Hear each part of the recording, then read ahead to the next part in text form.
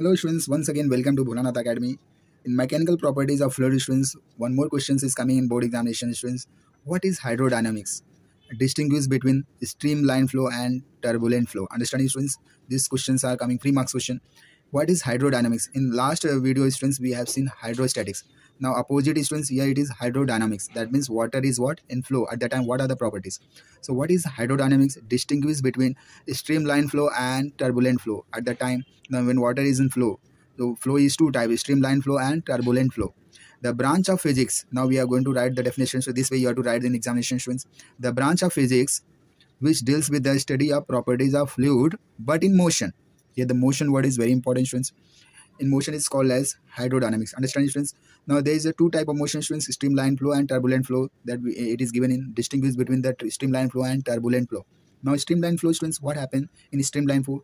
The smooth flow of fluid with velocity smaller than the critical velocity smaller than critical velocity is called streamline flow or laminar flow of a liquid understanding what is the definition you can write streamline flow definition the critical velocity if flow is velocity is less than critical velocity it the smooth flow of fluid so that is called a streamline flow. Turbulent flow is when the irregular and unsteady flow of fluid when its velocity increases beyond the critical velocity is called turbulent flow. Understanding students? This is the turbulent flow. Understanding?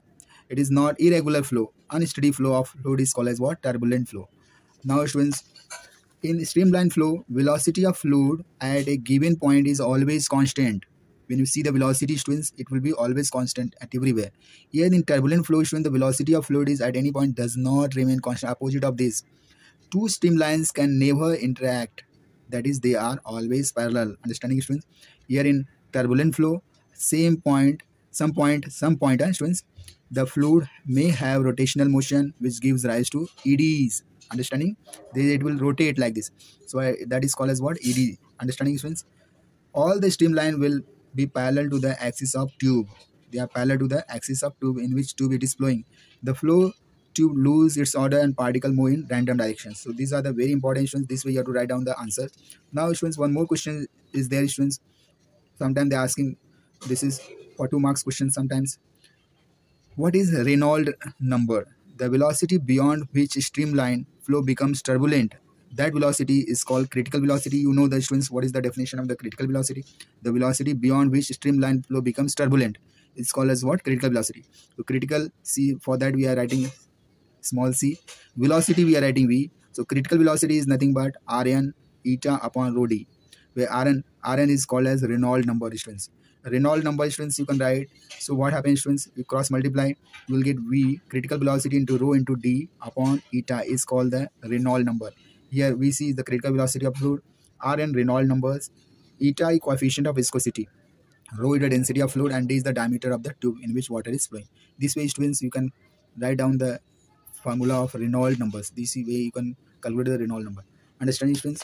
Now students, one more question with students in examination they are asking. Explain the term viscosity and viscous drag. This is four marks question students. Explain the term viscosity and viscous drag. For that students, how you are going to write the answer students? First you write what is viscosity. A friction between within the fluid. You are talking about the friction within the fluid and its surrounding. That is the wall of the tube. The friction within the fluid means water with water the friction within the whether it is water or it may be another fluid also the friction within the fluid and its surrounding this property of is called as viscosity this friction is nothing but is of a fluid is called as what viscosity the friction within the fluid and its surroundings this property of fluids is called viscosity viscosity is the that property of a fluid by virtue of its relative motion. This is the motion it means relative with respect to this uh, one layer to another. So we are talking about relative motions uh, how it is related. The viscosity is the property of fluid by virtue of which relative motion between different layers of fluid experience a dragging force. Understanding students how it is dragged. It is dragging force. This force is called this is called all as what? Viscous drag. Understanding? So now see how it is. See the different types of layers students the the the layer which are present on the uh, bottom students that is stationary layer. It will not flow. Understanding? Here the upper layer when you go from bottom to top students the velocity will go on increasing. Understanding students how see the layers velocity how it is increasing. As the distance increases from bottom to top you go from bottom to top students how the how, as the distance increases how the velocity is increasing. Understanding this is called as what? Viscous drags that we are going to see. Students now here we have taken students this is the velocity at this distance. Uh, v minus d will be what? X minus dx now what will be the velocity students at the when the distance increases from here initial x plus dx at the time velocity will be v plus dv when the distance decreases x minus dx the velocity will be v minus dv. Understanding students these are very important. Now students we are going to see velocity gradient. What is velocity gradient? The rate of change of velocity the rate of change of velocity with within within distance dx measured from the stationary layer is called velocity gradient. That is dv upon dx that we have already seen. A change in velocity with respect to distance is called as velocity gradient from the top bottom to top.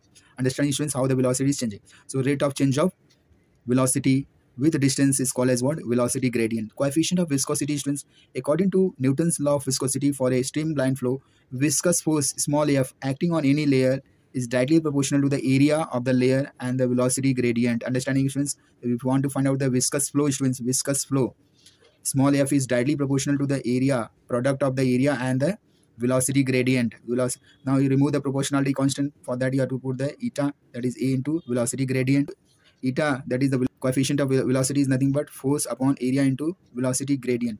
So coefficient of vis viscosity can be defined as the visco viscous force per unit area per unit velocity gradient. Understanding students? So per unit area per unit velocity gradient. So the coefficient of viscosity that is eta equals to f upon a into velocity dv upon dx that is velocity gradient. Understanding students? This way we can derive the expression of the velocity coefficient of viscosity coefficient of viscosity is very important for the examination point of view. Students if you like my video please share it subscribe it. Thank you thank you very much. God bless you. Have a nice day